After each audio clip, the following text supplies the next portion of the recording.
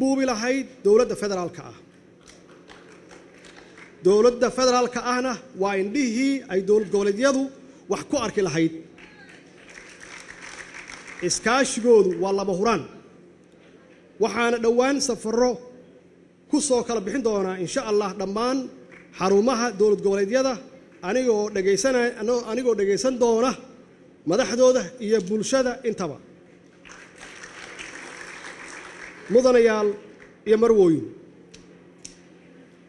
tobankii sano ee la soo dhaafay soomaaliya waxay soo ceshanaysay xiriirkii caalamiga dowladdeennu waxay la imaan doontaa siyaasad arrimo dibadeed oo ku qotoma laba arrimood oo muhiim ah oo xasaasi ah. Kow iskaashi labo ixtiraam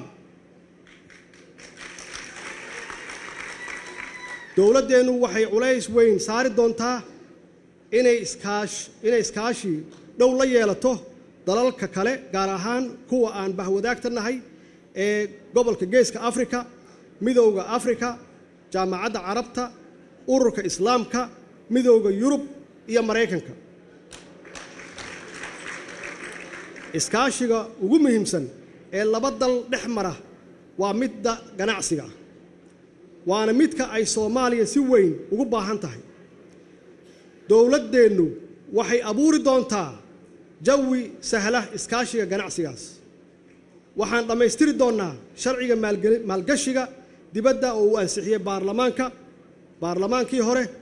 Waxaana samayn doonnaa wakaalad ama hay'ad qaabilsan maalgashiga dibadda oo si hagar la'aan ah u raadisa in soomaaliya la maalgashado si gaara dalalka aan deriska nahay waxaan la samaysan doonnaa nidaam iskaashi ganacsi. Waxaana rumaysanahay in ganacsigu uu horseedi karo isdhexgalka bulshada iyo labada dowladood ay wax badan kala faa'iidaysan karaan dhaqaalahooda oo kobca. Mabda'a labada mabda'a labaad waa ixtiraam. Waxaana dalalka aan dariska nahay aan siin doonnaa ixtiraam. Ay naga mudan yihiin. Oo iyagu oo ay ugu horrayso inaan faragelin annagu uusan dhankeena ka imaan aynan ku samaynin arrimahooda gudaha. Iyagana intaas in la eg ayaan ka filaynaa insha allah. Dardaaran dardaaran. Aan rabo inaan u diro nabaddiidka al-shabaab al-shabaab sidaad og tihiin sannadkii la soo dhaafay qaraxyadii iyo ismadidintii ay sameeyeen waxay ku laayeen dad gaaraya sagaal boqol oo qof oo soomaaliya aan waxba galabsan carruur ciroole iyo dumar u badan. Doraad waxay ku laayeen soddon dad maxaan ku dhaha wax magarato ah oo waxba aan galabsan oo carruur iyo dumar iyo ciroolo ah. Afartan kalena waa ku dhaawaceen waxaan u sheegayaa ummadda soomaaliyeed oo labaiyo toban milyan in ka badan ah ma hor istaagi kartaan. Waxaan idiin sheegayaa dhowr qof aad dishaan iyo hanti aad burburisaan soomaali ku qalbi jabi mayso. Soomaali maanta waa isku duuban tahay. Waxaan idiin sheegaynaa khaasatan dhallinyarada soomaaliyeed oo la khalday. Waxaan u sheegaynaa in maanta laga bilaabo aysan isku qarxin dadkooda soomaaliyeed oo walaalaha ah. In aysan dhibaateen ama aysan burburin hantida dalkooda uu leeyahay. Waxaan uga digaynaa in aysan dalkan horumarkiisa hor istaagin aysan hor istaagi karinna.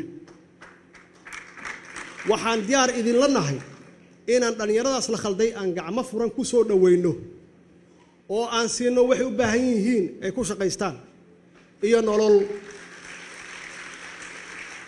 kuwa u shaqeeya alqaacida iyo isis iyo ummado kale oo dalkan aan doonayn inay istaagto waxaan idiin sheegaynaa wakhtigii waa dhammaaday ummadda soomaaliyeed ay qaybsanaayeen.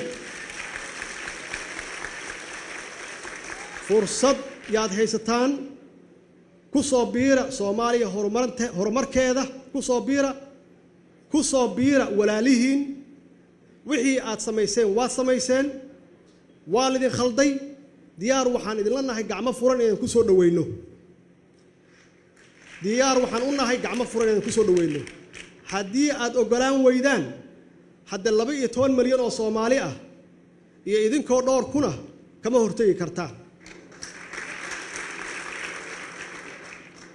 walaalayaal guud ahaan ummadda soomaaliyeed waxaan aaminsanahay sidaad aragtaan maanta in laba madaxweyne oo horey ag taagan yihiin waxaa noo bilowday jidkii iyo dariiqadii dimuqraadiyadda waxaan soo aragnay dagaal sokeeye oo qabiil. Waxaan soo aragnay dagaal xagjir waa ka gudubnay. Hadda waxaan maraynaa markii aan caalamka kula tartami lahayn dhaqaale iyo waxbarasho aan kula tartami lahayn. Waxaana ku gaari karnaa annagoo wada shaqayna annagoo u soconna dhankii dimuqraadiyadda annagoo la shaqayna dowladaha deriska annagoo kala shaqayna dhanka amniga guud ahaan caalamka annagoo soo dhoweyna cid walba oo adduunka ah oo gacanna siisa ciddaanna soo dhoweynayn annagaa soo dhoweynayna insha allah. Diyaar dowladdan waxay u tahay in ay ku shaqayso sidaad filayseen waad ku soo dhoweyseen dowladdaani waxay ku shaqayn doontaa inay ilaaliso ammaanada dadka. Waxaa jira perception aad u xun oo adduunku naga faafiyey inaan nahay dad musuq maasuq badan. Waxaan ka galnay sannadkii la soo dhaafay dalka ugu hooseeyaan ka galnay adduunka. Shacabka soomaaliyeed iyo dowladdan dhis doon insha allah waxaan rabnaa inaan ka wada shaqeyno inaan noqonno kaalinta koowaad ee dowlad wanaagga insha allah. Wasalaamu calaykum waraxmatullaahi wabarakaatu maalin wanaagsan. Soomaaliya ha noolaato soomaaliya ha noolaato soomaaliya ha noolaato guul